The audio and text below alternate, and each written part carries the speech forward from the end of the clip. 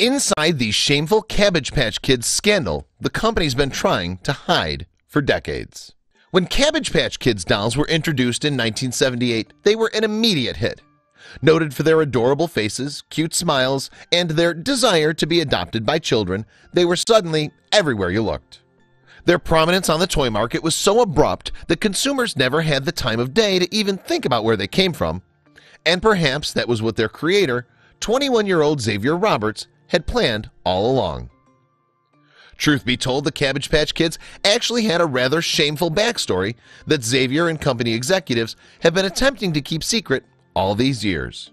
But now they're finally being exposed for what they did. Before we begin, make sure to smash that like button, subscribe to our channel, and click the notification bell for more amazing videos. When Xavier first began developing the dolls, they were actually called the Little People. It was at that time that he developed the concept that the dolls could be adopted rather than purchased. It was an idea that no one had ever heard before. At first, the dolls were only sold in Xavier's own gift shop, but eventually they got their own store, the Babyland General Hospital in Cleveland, Georgia. After that, the young man's business began to blossom. It wasn't until four years later, in 1982, that he began to license out a smaller version of the toys to a company called Coleco. Xavier gave the dolls the Cabbage Patch Kids moniker and developed their unusual background story. Xavier's idea for the doll story was this. When he was just 10 years old, he'd accidentally discovered the kids while following a bunny bee. After that, it had become his mission to help find all the Cabbage Patch Kids loving homes. But Xavier had a dirty secret. Apparently, Xavier's dolls weren't as original as he'd led people to believe. In fact, there was already another line of dolls on the market that was practically identical to the Cabbage Patch Kids. Several years before Xavier first introduced his product, an artist named Martha Nelson Thomas had already begun crafting similar dolls, which she called doll babies, to sell at local arts and crafts fairs. One day, Xavier stumbled upon Martha's dolls at a craft fair and was so smitten with them that he purchased several for himself. As Martha soon learned, he was more than just a fan of her idea. Xavier loved Martha's idea so much that he wanted to steal it.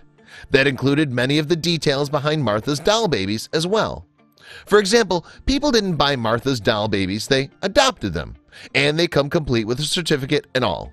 It was a fun idea, which made it all the more frustrating when Xavier brought the dolls back to his gift shop and began re-adopting them out to children, unbeknownst to Martha, at a higher price. Not only were the dolls not his own creation, but he'd completely stolen her business model, too. Not only that, but Martha had already garnered lots of positive attention when she first introduced doll babies in the early 1970s. Right away, people could tell she really cared about the product she created. Speaking of her love and dedication for her dolls, Martha's longtime friend Guy Mendes said Martha was basically flat out reinventing the doll. The doll babies were her brood. She shopped for them. She dressed them. They were expressions of her. When Martha caught wind of what Xavier was doing, she visited his gift shop, saw how much he was charging people, and demanded he give them back. In response, he wrote her an angry letter saying he'd sell his own dolls if she didn't allow him to sell hers. And so, not long after that, Xavier began selling the Little People dolls that launched his own career. Sadly, he was about to make a fortune on an idea that was never truly his. Unfortunately, caught up in the passion of making her dolls, Martha never filed for a copyright before Xavier stole her idea. In the late 1970s, however, she did file a lawsuit against him, even though it didn't go to trial until 1985.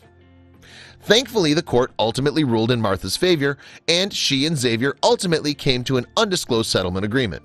She couldn't tell us what the settlement was, but she said her children would go to college, her friend Guy recalled. In the end, it wasn't about money for Martha. She was passionate about creating dolls children could adopt and play with. Her dolls would never be as famous or lucrative as the Cabbage Patch Kids, but she at least had her integrity and some much-deserved credit. Unfortunately, the same couldn't be said for Xavier. He'd taken his idea from someone else without her permission. He might have made a good living doing what he did, but at the end of the day, the idea wasn't his. And now people know that. Share this Cabbage Patch Kids scandal with your friends below.